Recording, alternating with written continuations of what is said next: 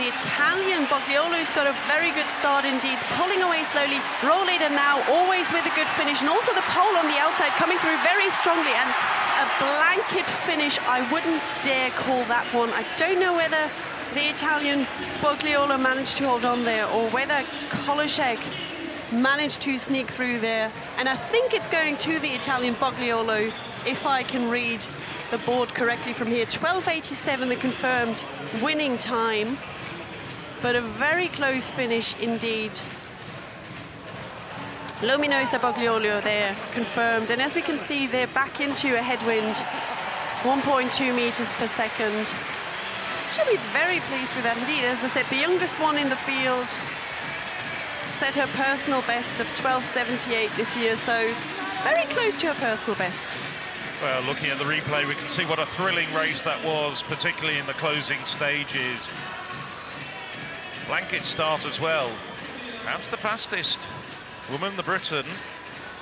Ophelia away very quickly.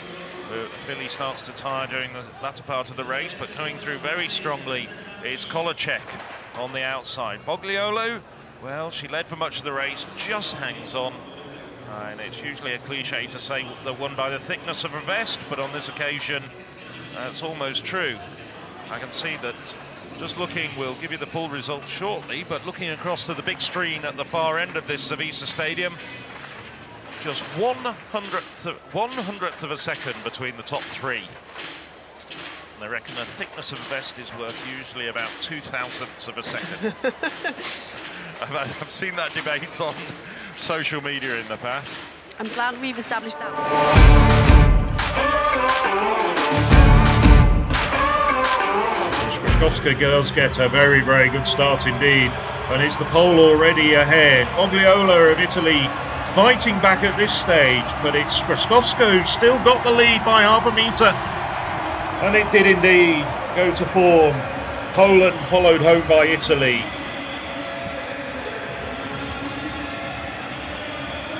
12.99, outstanding running in these conditions for the young 20 year old Pole, who gets a very, very rare double. One of the most recent doubles of this nature I can think of. Well, perhaps Colin Jackson winning the 60 flat and the 60 hurdles back at the 94 European Indoors. So already Skrzyszowska ahead at the first barrier.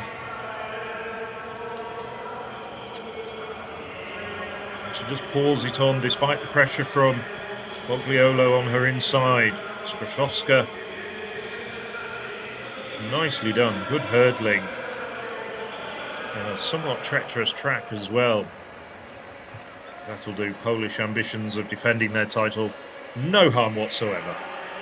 Yeah, Skrzyszowska, who was a teenager at the European Indoor Championships, perhaps her form to uh, get a PB to win her semi-final in Toruń would have got a higher billing were it not for the uh, outstanding success of other younger athletes like Keely Hodgkinson and Femke Bol, but really impressing on home soil, as you say, very rare.